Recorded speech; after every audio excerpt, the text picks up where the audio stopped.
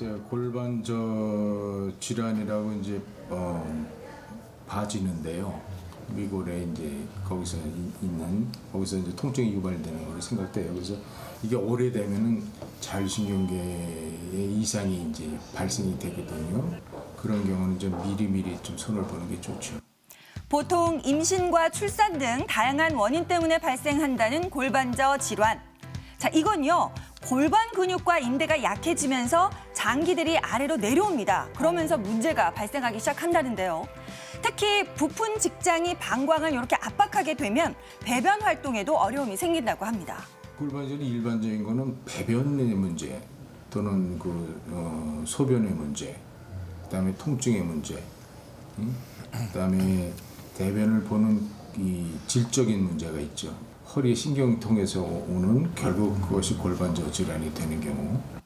골반저 질환 이름은 좀 생소하죠. 네. 근데 여성의 30% 이상이 앓고 있다고 해요. 보통 여성들이 호소하는 초기 증상은 지금 보시는 것과 같습니다.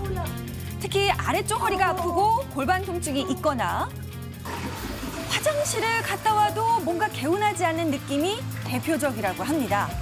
이렇게 소변을 참기 어렵다 보니 일상생활 중에 소변이나 방귀가 새는 경우가 종종 있는 거죠. 자, 골반 때문에 일어나는 내 몸의 증상, 주부들은 잘 알고 있을까요? 자가 진단법으로 한번 진행을 해봤습니다. 두개 이상은 해당이 된다. 손 들어 보실래요? 네 분, 다섯 분, 여섯 분. 상당히 많죠. 두 개. 몰랐었는데 그냥 뭐 노화로 그런 줄 알았어요. 저질환한 것도 처음 들어봤고 여기 이런 건 뭐 조금씩 다 그렇다고 인정하고 그냥 나이 탓으로 이런 방광에 무슨 이상이 있나 그런 생각만 하지. 했지. 골반의 문제라고 하는데 어떠세요? 지금 그렇다고 하니까 좀 걱정되네. 걱정돼요.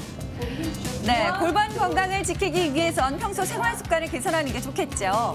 이럴 때 이만한 운동이 없다고 합니다. 바로 골반저 근육을 강화시켜주는 케겔 운동인데요. 숨을 들이시, 들이마실 때 관략근을 조이고 내쉴 때 이완하는 거예요. 특히 산모들과 요실금이 있는 분들에게 참 좋다고 합니다.